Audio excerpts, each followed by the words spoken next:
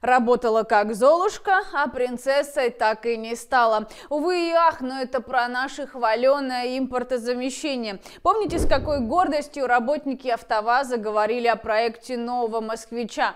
А я вот помню, и помню свои шутки на тему «А надолго ли и успешно ли?». Вот только тогда я и не подозревала, что жизнь новоиспеченного москвича окажется столь короткой. Но сегодня я не об этом, а о граблях, на которые любит наступать Россия. Это «Вести без Киселева», совместный проект каналов Ермак Медиа и реальная журналистика. Привет-привет, мои дорогие, с вами Юля, и мы начинаем.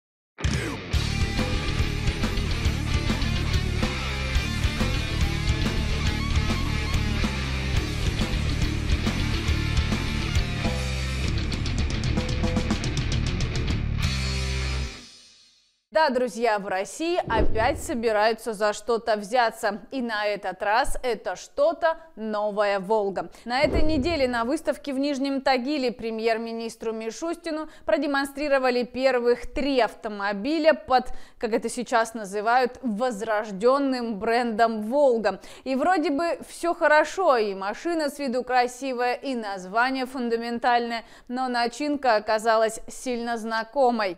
У вас где сейчас сделан руль конкретно? Китайский? Кто? Руль. А, руль, да, но на самом деле это же только начало. Вы слышите ответ? Руль пока китайский. Хочется, чтобы руль был российский.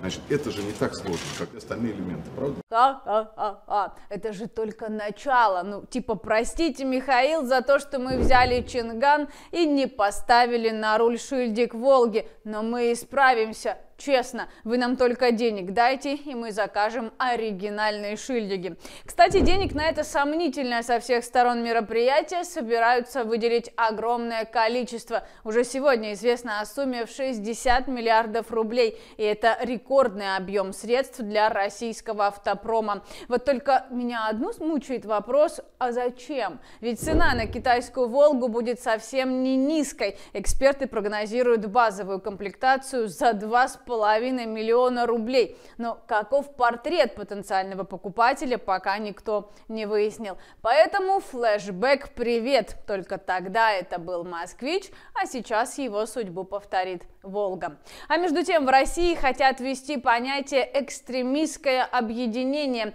Об этом стало известно во вторник, когда адвокат на агента Невзорова сообщил СМИ о том, что семью его подопечного хотят признать экстремистским объединением. С таким предложением выступила питерская прокуратура, пишет коммерсант. Что могло послужить основанием для столь резкого решения, пока непонятно. Но и сам Невзоров и его адвокат склоняются к одному. Власть решила прибрать к рукам недвижимое имущество супругов. Правда, из него у пары только три земельных участка, но ни на один из них истцы в лице Федерального агентства по управлению госимуществом не покусились. Их почему почему-то заинтересовало другое, а именно дом, принадлежащий теще журналиста. Но в нем женщина, являющаяся блокадницей, живет по настоящее время и притом в экстремистское объединение не входит. Поэтому ситуация поистине анекдотичная и непонятно на чем основанная. Суд уже состоялся, но из-за того, что прошел в закрытом режиме, результатов пока неизвестно. Но если решение все-таки будет принято и принято в пользу истца,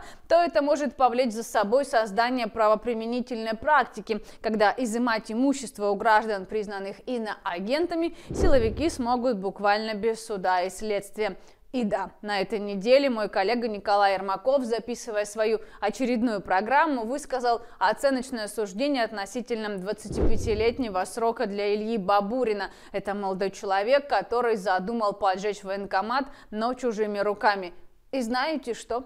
А программу снесли. Ну, то есть заблокировали с пометкой оправдания терроризма. А почему? А потому что обсуждать или осуждать действия властей теперь нельзя. Вынесли 25 лет строгача, значит это было единственно правильным и верным решением. Отберут у Невзорова недвижимость, и я даже не смогу задать вопрос, а не произвол ли это. Ну, потому что по закону не существует ни такого понятия, ни санкций за участие в этом понятии. Всех убьем, всех, кого надо, ограбим.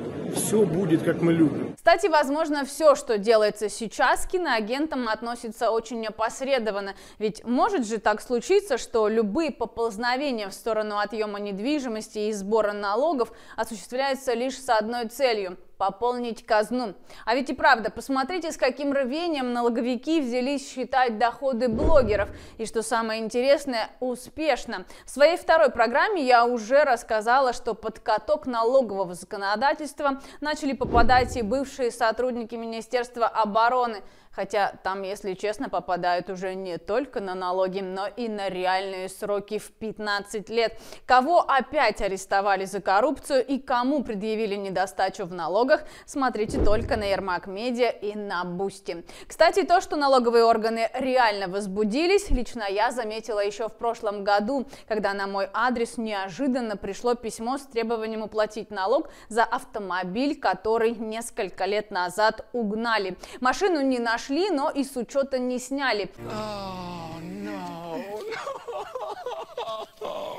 Я вам скажу, что квест, который я прошла, доказывая, что ни фактически, ни юридически машиной уже не владею, дался мне отнюдь нелегко, потому как сначала в полиции долго не могли найти возбужденное по факту угона дело, потом выяснилось, что в деле вдруг начали фигурировать фото сгоревшей машины, которую мне якобы предъявляли, и я даже согласилась, что это она, но ни амнезия, ни Альцгеймер меня не догоняли. Я отлично помню, что подобных действий точно не было, как и подписанных мною в деле бумаг. Короче говоря, решив вопросы с полицией, мне пришлось все те же 9 кругов бега совершить и в ГИБДД, доказывая сотрудникам, что снять машину с учета я не могу по причине ее отсутствия. В общем, оформила я ее как утилизацию и постаралась об этом забыть.